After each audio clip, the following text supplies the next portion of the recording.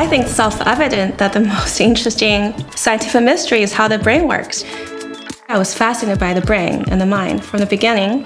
And being in this interdisciplinary field allows me to learn lots of different things and try to find a connection among different things.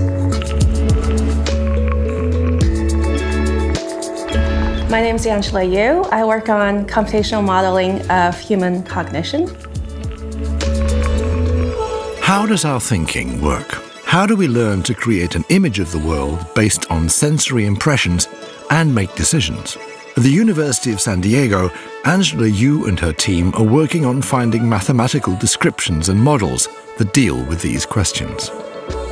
One of the questions we're trying to answer is what is the nature of intelligence, or at least what we humans consider to be intelligent, and what cognitive functions contribute to intelligent behavior, such as learning, decision making, um, emotional processing, selective attention, memory, and so on and so forth. Our brain is constantly filtering the important information from a rushing, noisy stream of data and making complex decisions on this basis. How does it do that? How does it guide us through an environment full of situations that need to be evaluated every day? Answers to these questions could also be a crucial step forward in further developing artificial intelligence. In certain tasks, AI algorithms can already do better than humans. But simulating is not the same as understanding. So at the moment, we have AI algorithms that do very impressive things, like recognizing faces or classifying objects. But right now, humans are defining the tasks and basically very smart researchers defining what tasks to give to the algorithms, as well as what kind of data to train the algorithms on. Children don't have that benefit. When young children are learning about the environment, learning how to build knowledge and respond to it appropriately, they're not given specific tasks, generally speaking, right? They're exploring in a self-driven way. In that sense, human learning is very different and much more autonomous than artificial intelligence machine learning. Yu's research field bridges the gap between artificial intelligence and neuroscience. If AI systems are to become more autonomous and find their way around unfamiliar tasks or new environments, they must learn what humans can already do. Be flexible when faced with a wide variety of challenges, often all at once. For example, if I'm playing tennis with my son, computationally, we have to compute where is the ball going to land based on the visual input.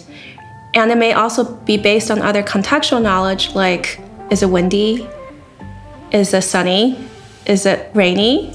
So the brain is doing a lot of complicated computations just to figure out where the ball is going to land. As a mother, if I'm playing tennis with my son, I'm also thinking about other things like how is he feeling? Is he getting frustrated? You know, should I hit some easy balls to motivate him? Or is he getting tired? Should I feed him? There are really lots of things going on all at once in your brain. But what exactly is going on? Movement and reaction, emotions, facial expressions and evaluation.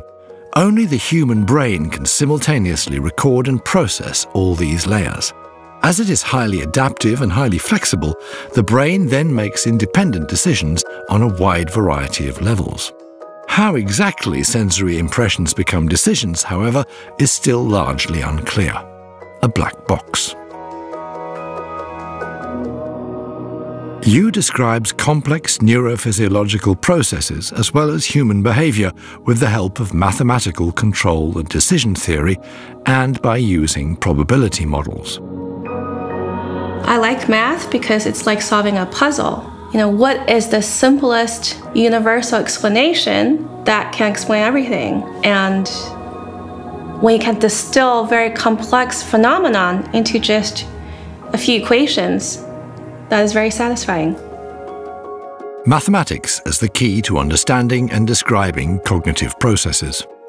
In Darmstadt, you will further strengthen the existing research focus on AI and cognitive science.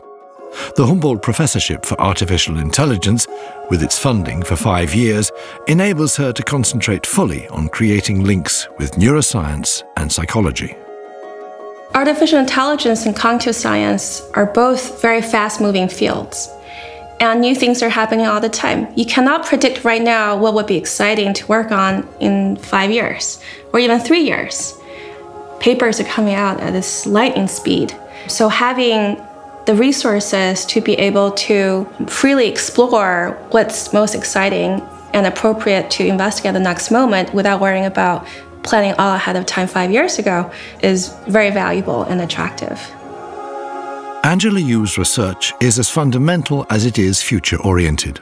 It also opens up new horizons for AI research and for our understanding of the most fascinating organ we know. The more I know about the brain, the more I realize I don't know anything about the brain. but I think the more I've found out, the more I feel like I can ask better questions.